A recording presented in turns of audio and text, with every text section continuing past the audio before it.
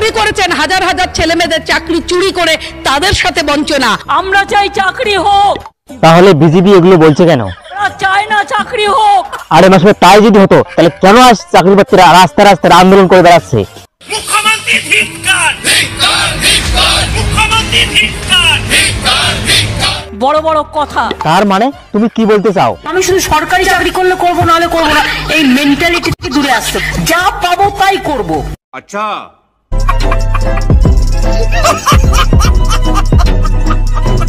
কেষ্টবাবু শুনতাম আর কি সব লোকজন বলতো তৃণমূলে যে কাঁধে করে গরু নিয়ে যেতেন তারপরে বর্ডারে ওইদিকে বাংলাদেশের কেউ দাঁড়িয়ে থাকতো ওরা নিয়ে নিত। কেষ্টমন্ডল নিজে পার করতে? হুম তাই শুনতাম। হায় হায় মাসিমা তোমার কৃষ্ণ নাকি কাঁধে করে গরু পাচার করতো?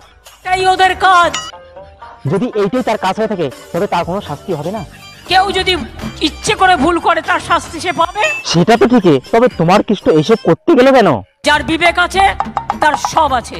যার বিবেক নেই তার জীবন নেই। আর মমতার বংশে এত ঠাটবাট হয়? মমতার যে হচ্ছে এই ডাকাতদের রানী। হায় হায় মাসিমা এটা আবার কি বলল?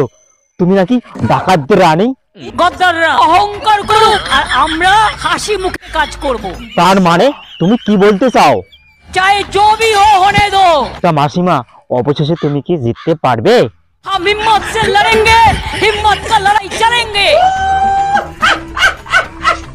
এই যে দেখুন স্কুল শিক্ষা দপ্তরের আটত্রিশ হাজার একশো সতেরো কোটি টাকার হিসেব মাননীয়া দেখাতে পারেননি কি মাসিমা কি বলছো এসব বিজেপি তার মানে তোমার যে অনুষ্ঠান হতো সব টাকা তুমি এখানে খরচ- খরচ করে ফেলেছো আমরা নিজেদের পয়সায় টোটালটা করি মাসিমা আমার মনে হয় আগামীতে তোমার ওই আহ, সভাগুলো বন্ধ করো। একদিকে তুমি আমায় বন্ধ করবে অন্যদিকে আমি চালু করব। তার মানে তুমি কি বলতে চাও?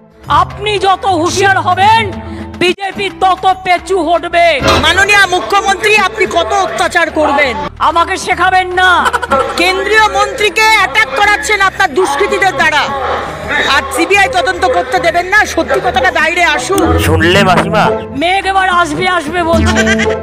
জি মাসিমা বড় মেঘেই আসবে মনে হয়। আরে ভাই আমি চাইলে অনেকগুলো বিজেপির ভোট নিতে পারতাম আমি করিনি।